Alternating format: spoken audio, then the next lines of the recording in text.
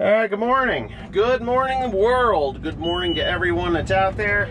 It is a beautiful, sunny, hot day in November, New Jersey. Um, 2020 if you're watching this in the future. Uh, I got a little problem with the Krone Big Pack. It's not a big problem, it's just a little problem, which we have from time to time.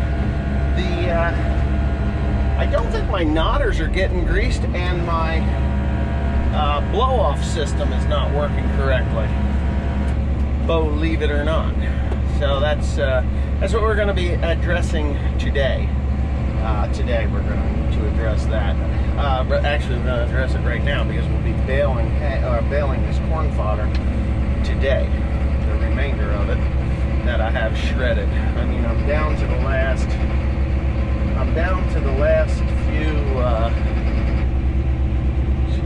Uh, excuse me, I'll pick my nose. Down to the last few acres just here at home. Wow, this baler is cutting ruts like there's no freaking tomorrow. As I come around that corner, it is wet out here. It is really wet out here.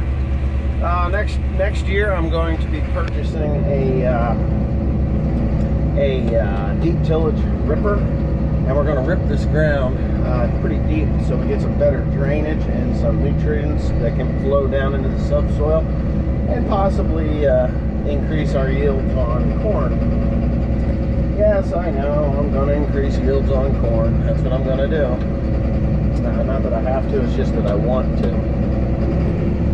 I'd love to see 300 bushel corn consistently, which isn't going to happen, but it would be nice. Uh, so anyways, uh, I'm going to meet you on top of the baler.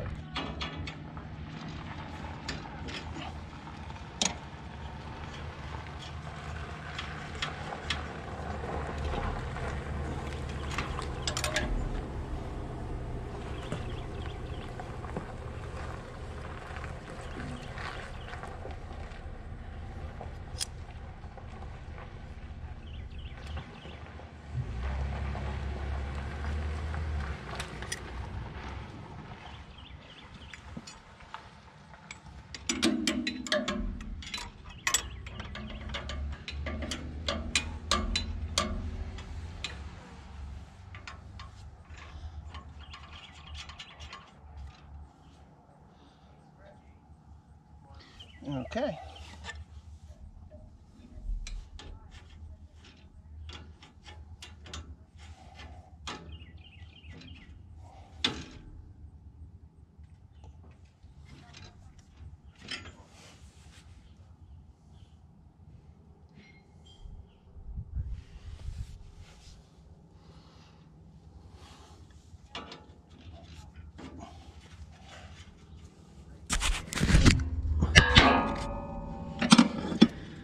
I should probably talk about what I'm doing, huh?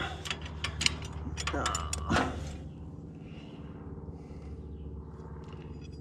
No.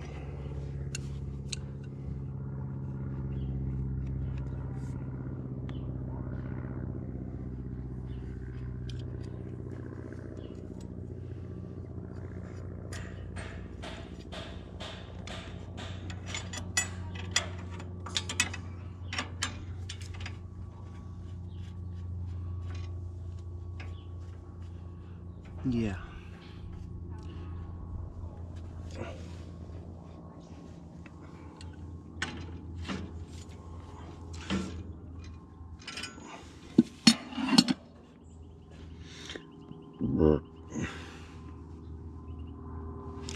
Oh, this thing's a pain in the ass.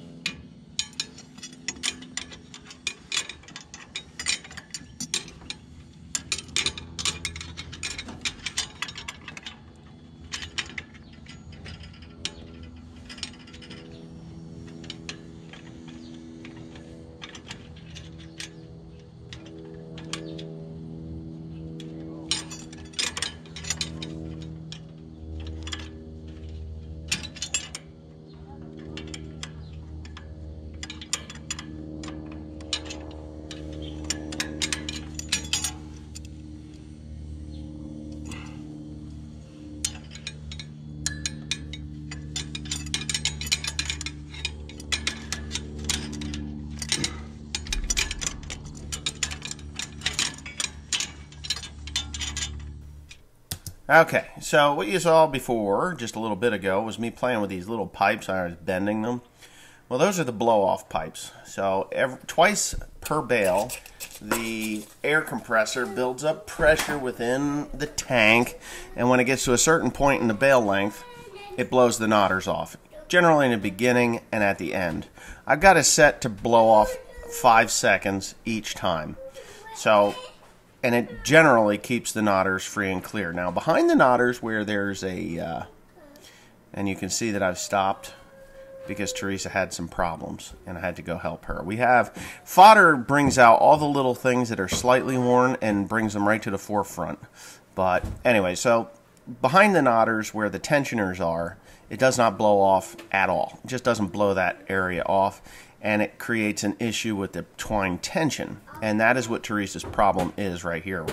Uh, when uh, in a second, when I'm done, oh, there goes a four wheeler just went zipping past. Uh, in a second, I'll have we'll be going, but the uh, the dirt behind there it builds up and it kind of packs the tensioners a little bit more than they should, uh, and causes too high a twine tension, which then in turn causes the knot to cinch tight against the bill hook when the knife arm or the wiper arm is wiping it off. And then it can't wipe it off and it's stuck in the bill hook because it's cinched it too tight. So that is too high of a, tw- of a twine tension. So that was the problem that we were having. having. So as you sit here watching the tractor go back and forth because I didn't shut the PTO off, uh, that is what had happened there. Um, we have produced somewhere, let's see, three, four, five hundred, and six hundred. Yeah, let's see, one, two, three, four, five hundred. About five hundred and fifty bales is what we've done uh, so far in fodder. Um, I might have 50 more bales to bale if the weather holds out for me uh, on these two farms where I've got, you know, where I got the, uh, oh, there we go, um, where I had corn. Now, I had given a neighbor 20 bags of corn. You're going to hear William. You make too much noise. He just makes too much noise sometimes. Anyways, I gave him 20 bags of corn, and in return, I wanted the fodder. So, hopefully in that 50 acres that he's planted I'll be able to, you know, make another, you know, couple hundred bales. Hopefully, we'll see. Um, I got to talk to him anyway. But that's the story. So if he get if he got that corn planted where it belonged or how it was supposed to go in and fertilized correctly, and he's getting it combined, it should be dry enough. And there is my cue to stop.